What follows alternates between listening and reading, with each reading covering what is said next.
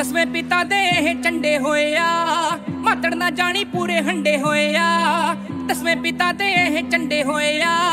ਮਾਤੜ ਨਾ ਜਾਣੀ ਪੂਰੇ ਹੰਡੇ ਹੋਏ ਆ ਸਾਦਗੀ ਨੂੰ ਦੇਖ ਝੋਟੇ ਕੁੱਟ ਜੇ ਨਾ ਜਾਣੀ ਲੋੜ ਪੈਣੀ, ਉੱਤੇ ਆਉਂਦਾ ਲੈਣਾ ਹੱਕ ਨਹੀਂ ਉਹ ਪੁੱਛਦੀ ਏ ਐਂਟਰਾਂ ਤੇ ਸਾਨਾ ਜਿਹੇ ਕੌਣ? ਬੈਠੇ ਹੁੰਦੇ ਪਿੰਡਾਂ ਵਾਲੇ ਜੱਟ ਨਹੀਂ ਜਿਹਦੇ ਤੇ ਗਵਾਂਢੀ ਨੂੰ ਵੀ ਚੜਨ ਨਹੀਂ to the